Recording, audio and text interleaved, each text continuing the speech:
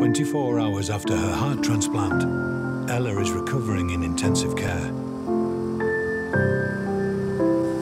The operation has gone well, but she is still monitored closely for any signs of rejection.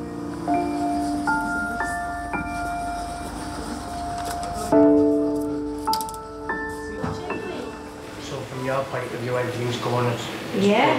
planned. And she had a good night because her pupils is fine. Right. You know. Yeah. So we don't have to anything to worry about that. way. Brilliant, yeah. Yeah.